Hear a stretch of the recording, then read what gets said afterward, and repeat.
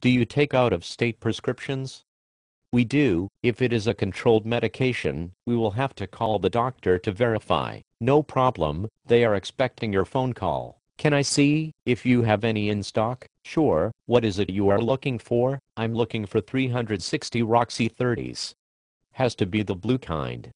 Also, need the Oxy 40s 90 of them. Need to have the OC on them, the others my doctor says, doesn't work as well. I also need my totem poles filled. I think I have the script for it here. The doctor also wrote for ibuprofen, but I'm allergic to those. Do I need to get them? Okay. Looks like we have those in stock. No, you do not have to get those if you do not want them. Would you like for us to fill your medications? Please. I will pay cash for them.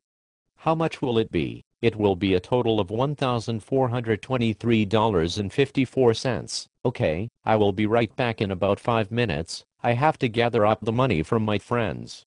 Oh by the way, on the oxys, do those gel up when you crush them? Why would you want to know that? Are you crushing these? Oh of course not.